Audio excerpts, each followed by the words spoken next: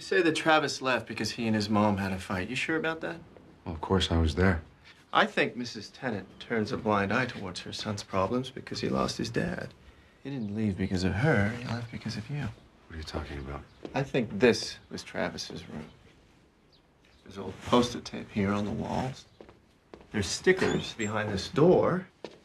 And dents up here from where a lacrosse ball was hitting it. Travis plays lacrosse, doesn't he? He used to before he got into drugs. And here, this pane of glass has a crack in it right at elbow or fist height. Must have been quite the argument between you two. Okay, that's enough. The only question is, did you take his room as soon as he left? Or did he leave because you took his room? You're in my personal space. Please step back. Excuse me.